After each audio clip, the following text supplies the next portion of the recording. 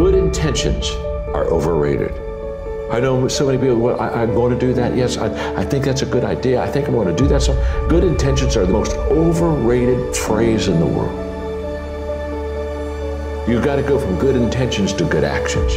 Nothing happens until you've got good actions. You're not all you could be, and there's pain in that.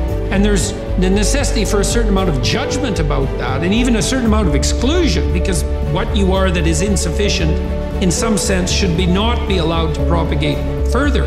But, you know, here's some things about you that are virtuous and good, and they're pretty powerful, actually. And if you just made those more manifest, you could dispense with a lot of this immaturity and misery, and you could start walking this pathway that makes things better. And the thing is that as soon as you start walking the pathway that makes things better, then things immediately become better because your whole orientation changes. And you know, if you're in a bad place but you're escaping, that's pretty positive. So find five reasons that empower you.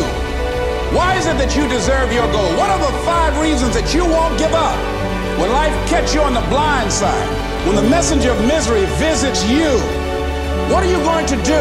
What will keep you in the game when life knocks you to the canvas? You still have to play the hand that you're given. If you didn't have a father in your life, you got to play your hand. If you didn't have your father in your life, if you did have your father, you got to play your hand. If your family gave you absolutely nothing, you got to steward that. If your family gave you everything, you have to steward that. We have two primary choices in life. We can either accept conditions as they exist, or we can take the responsibility to change them.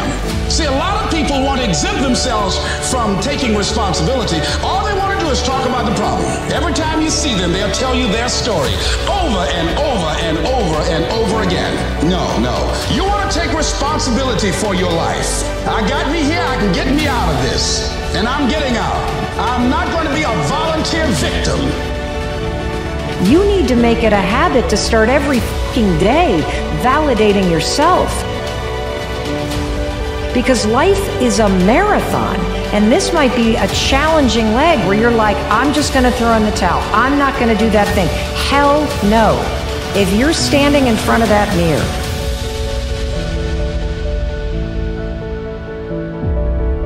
You deserve to feel the support and empowerment and encouragement that you need.